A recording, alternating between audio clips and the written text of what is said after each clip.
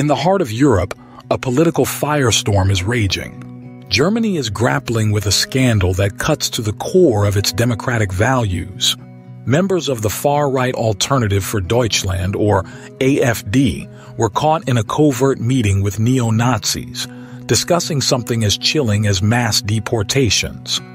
Among the attendees were AFD's Roland Hartwig and Tim Krause alongside Martin Sellner, a figure from the identitarian movement.